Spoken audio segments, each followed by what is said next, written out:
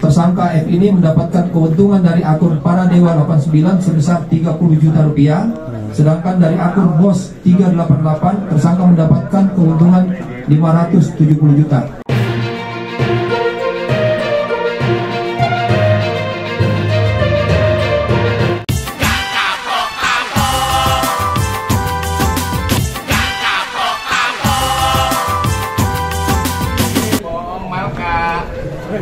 Tapi bohong sampah sampah.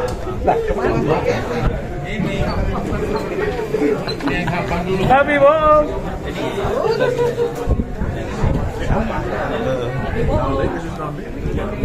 judi. Endorse judi. Baik, rekan-rekan, kita akan rilis terkait dengan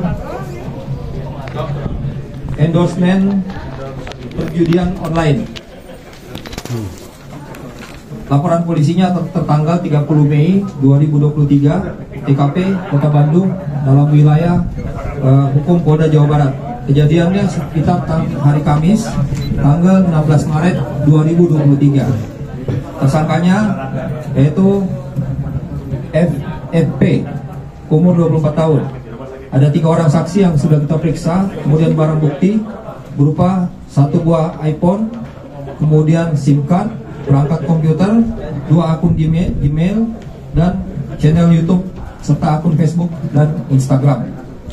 Uraian kejadiannya di mana pada ta- pada hari Kamis tanggal 16 Maret 2023 pelapor melihat di media sosial Facebook dan YouTube saudara tersangka FP dengan channel Paleka TV.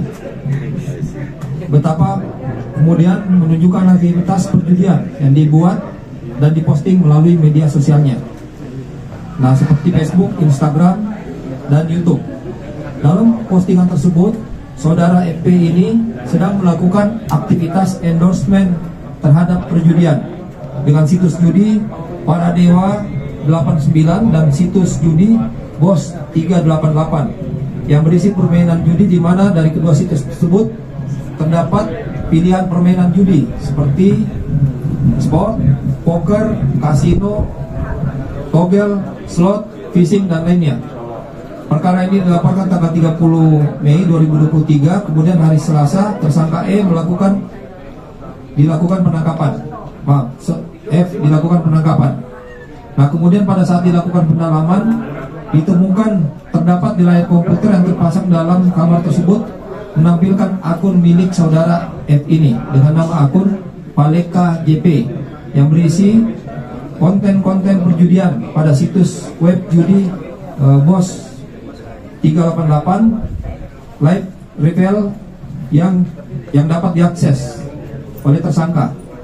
Selama eh, masa operasinya, tersangka F ini mendapatkan keuntungan dari akun para dewa 89 sebesar 30 juta rupiah, sedangkan dari akun bos 388 tersangka mendapatkan keuntungan 570 juta. Pasal yang disangkakan adalah pasal 45 ayat 2 junto pasal 27 ayat 2 Undang-Undang RI nomor 2 nomor 19 tahun 2016 tentang perubahan undang-undang nomor 11 tahun 2008 tentang ITE. Hukumannya sampai 6 tahun penjara. Terima kasih sudah nonton. Jangan lupa like, subscribe, dan share ya.